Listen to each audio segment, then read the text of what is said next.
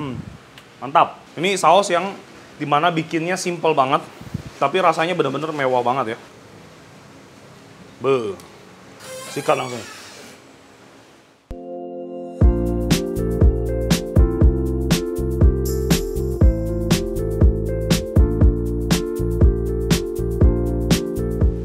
Halo semuanya, sahabat Koko Kuliner, jumpa lagi sama gua Widiam.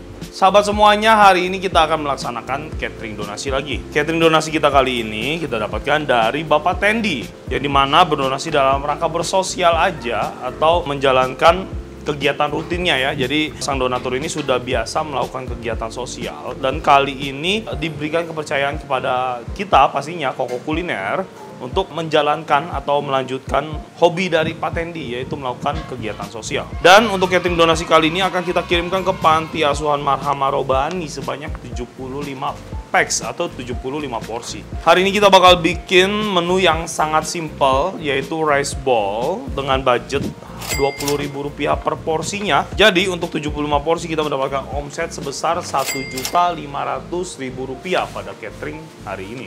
Nah, untuk menunya hari ini benar-benar simple banget ya teman-teman. Jadi teman-teman silahkan detail pada konten kita hari ini karena selain bisa menghibur teman-teman, konten ini juga bisa menjadi salah satu inspirasi atau ide usaha yang selanjutnya juga nyaman sekali untuk menjadi pilihan untuk makan kita sehari-hari. Oke, untuk menunya hari ini kita bikin rice ball yang di mana isinya adalah nasi putih, terus ada chicken karage with sweet mayo, yang selanjutnya ada boil bean sprout ya. Jadi bahasa aslinya adalah toge rebus ya. Yang di mana di sini kita menggunakan kemasan paper ball 22 oz. Untuk resep detailnya ada di bawah sini, ada di kolom detail atau kolom deskripsi. Tapi tetap gue akan membacakan serta menjelaskan step by step yang akan kita lakukan untuk menyelesaikan catering hari ini. Teman-teman siapkan peralatan menulisnya ya, kertas dan juga pulpen. Kita akan memulai konten hari ini. Yang pertama kita pastinya membutuhkan nasi putih. Di sini gue mempersiapkan 10 liter beras, teman-teman. Selanjutnya adalah chicken karage with sweet mayo. Yang pertama di sini udah ada paha ayam sebanyak 6 kilo, teman-teman. For sure ini sudah dibumbuin, teman-teman bisa lihat dari warnanya, dia sudah agak kemerahan ya, atau hitam-hitam ini karena kita menggunakan kecap asin untuk bahan-bahannya. Di sini kita menggunakan mix seasoning, kecap ikan, kecap asin Jepang, minyak wijen, bawang putih giling, dan ada jahe yang kita giling. Semuanya kita masukkan ke dalam satu tempat, habis itu kita aduk-aduk dan kita marinate, kita biarkan selama satu hari satu malam dalam chiller ataupun freezer. Fungsinya biar bumbunya meresap ya, jadi benar-benar nanti si chicken karagenya ini rasanya sampai ke dalam-dalam dagingnya. Yang selanjutnya adalah sweet mayo teman-teman ya. Ini adalah salah satu resep saus favorit gua yang di mana menu goreng-gorengan biasanya kalau kita makan pakai sweet mayo itu enak banget ya. Di sini gua menggunakan mayones sebanyak 2 kilo, susu kental manis sebanyak 2 kilo, ada air lemon ya. Ini gua ambil dari 2 butir lemon dan selanjutnya bombay kurang lebih 4 butir berukuran sedang dan yang terakhir ada garam ya. Garam nanti kita pakai hanya sejumput aja. Yang terakhir adalah toge rebus ya. Toge rebus sangat mudah. Di sini gue udah mempersiapkan air. Nanti akan kita berikan sedikit marinasi dan kita rebus aja. Rebusnya cuma di sekedar celup aja teman-teman ya. Jadi ini adalah menu yang benar-benar simple catering kita hari ini. Selain simple juga pastinya enak ya. Oke, begini aja. Sekarang kita bakal mulai masak teman-teman. Silahkan ditonton dengan baik. Semoga video hari ini bermanfaat untuk kita semua. Kita mulai dari bikin sausnya dulu ya teman-teman ya. Biar mudah. Bombaynya langsung kita masukin. Kental manis.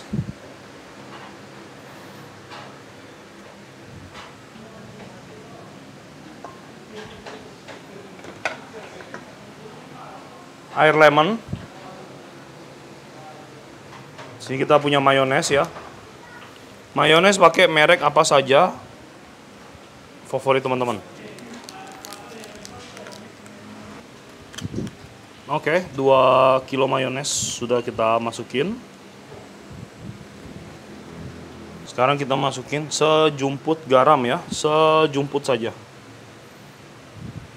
Oke, cukup kita aduk-aduk sampai tercampur rata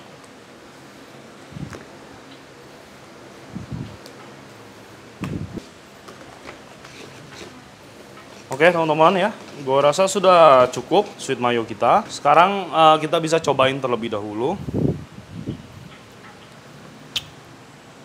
Hmm, mantap. Ini saus yang di mana bikinnya simple banget, tapi rasanya bener-bener mewah banget ya. Karena sweet mayo ini pada dasarnya sering banget digunakan di hotel-hotel, terutama Chinese food ya, sebagai uh, cocolan untuk makanan-makanan gorengan seperti pangsit, cakwe, dan lain sebagainya. Oke, ini sweet mayonya udah beres. Sekarang kita berlanjut ke yang simple lagi yaitu si toge rebusnya dulu aja. Oke teman-teman, kita bakal lanjut buat bikin toge rebus ya. Seperti yang teman-teman lihat di sini gue udah manasin air. Langsung aja kita masukin garam ya, nggak usah terlalu banyak. Iya. Yang penting ada rasanya ya.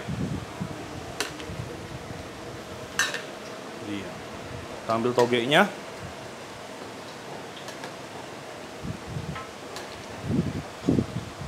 Langsung kita rebus ya.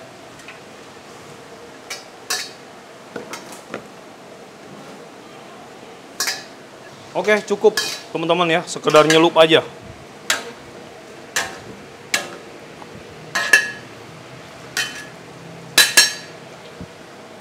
Biar kita masih bisa ngedapetin freshness dari si togenya.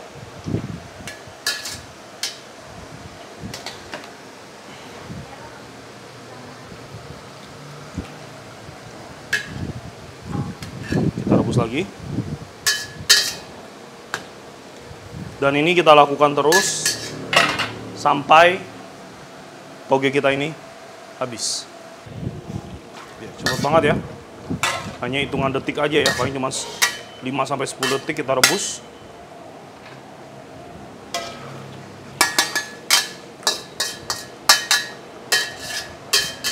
Oke.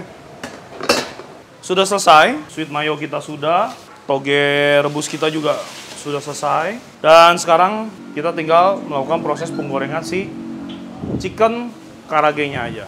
Yuk. Oke, kita lanjut ke proses terakhir kita yaitu melakukan penepungan chicken karage ya. Langsung aja kita lakukan tanpa berlama-lama.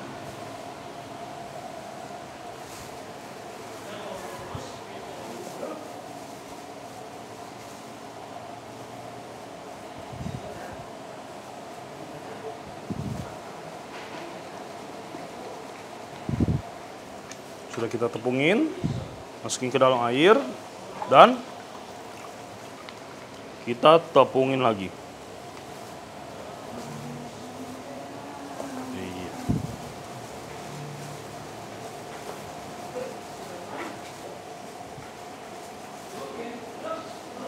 Ya, sudah kita tepungin. Langsung kita saring lagi ya. Jangan banyak-banyak tepung. Wow. Oke.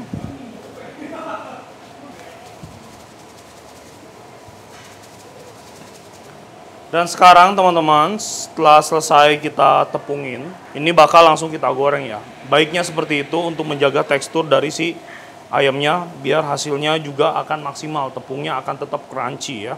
Kalau terlalu lama dibiarkan setelah ditepungin, nanti dia akan menjadi basah dan pada saat digoreng tepungnya nggak jadi crunchy lagi melainkan menjadi keras. Nah teman-teman bisa lihat tekstur dari si ayamnya. Ini bagus banget ya. Jadi keritingnya hanya tipis-tipis saja teman-teman ya. Cakep ya.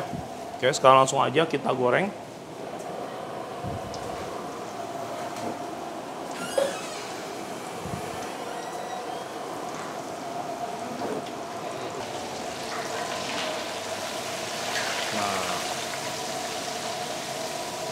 Cantik sekali ya teman-teman semua ya. Digoreng dengan minyak yang panas ya.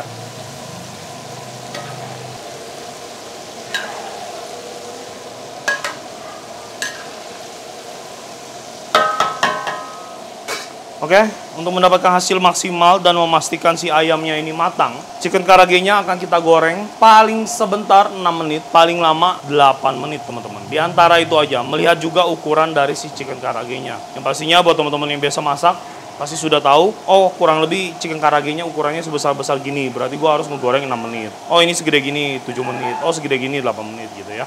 Intinya untuk menggoreng si chicken karage apalagi dengan menggunakan paha ayam, jangan digoreng terlalu lama sampai dagingnya dry. Karena nanti hasilnya nggak akan jadi enak. Percuma kita sudah pakai paha ayam untuk mengejar tekstur yang juicy dan nikmat ya, tapi digoreng dengan teknik yang salah, maka rasanya juga tidak akan maksimal teman-teman. Oke kita goreng dulu teman-teman ya, nanti kita akan ketemu lagi.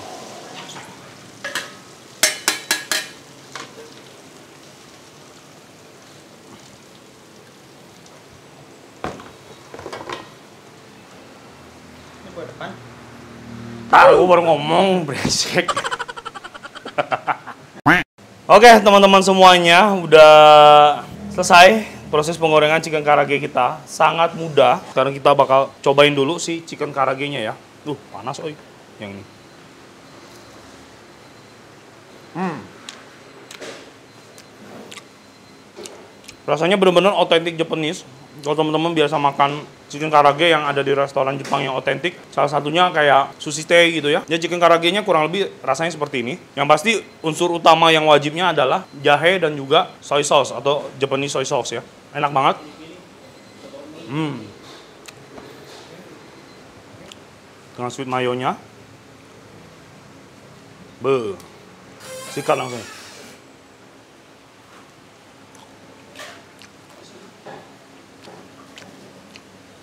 Karage yang gurih, crispy, ketemu dengan saus sweet mayo yang creamy dan ada tekstur bombaynya yang asik banget. Ini menjadi satu perpaduan yang luar biasa. Oke, sahabat Koko Kuliner semuanya, sudah selesai semua menunya udah gue masak. Sangat simpel ya. Dan sekarang kita akan melanjutkan proses catering kita hari ini yaitu kita akan melanjutkan ke proses packing dan juga plating.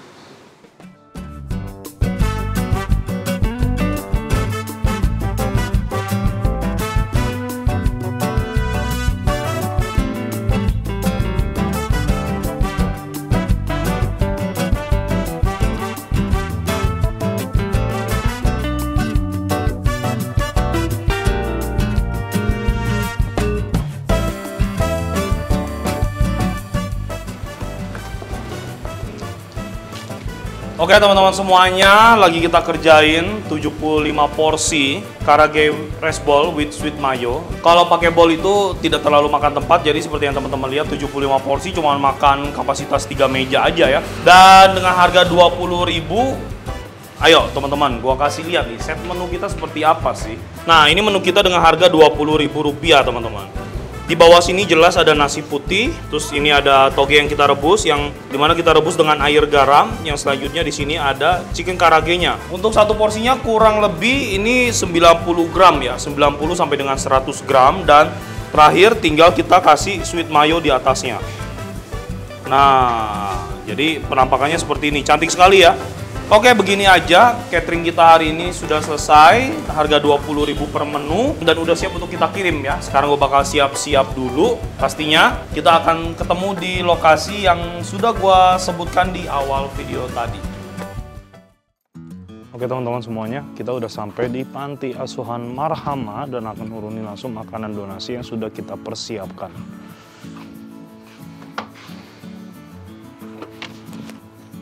Alhamdulillah aman. Assalamualaikum.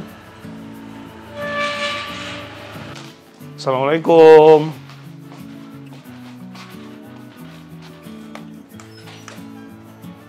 Ah, Nek, nurunin makanan ya. Gunanya nggak apa sih? Nggak apa-apa, nggak apa-apa. Jangan dikebawahin. Buat makan sore ya. Makasih banyak ya. Langsung pamit. Assalamualaikum. Langsung ya, Nek. Sama-sama. Amin.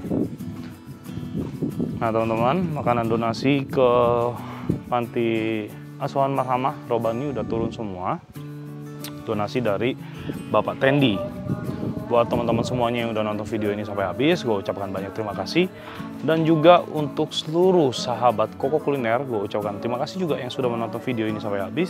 Semoga kita semua selalu diberikan kesehatan dan keberkahan yang luar biasa. Sampai jumpa lagi kita di video dan episode berikutnya. Semoga video ini menjadi berkat dan manfaat untuk kita semua. Bye-bye.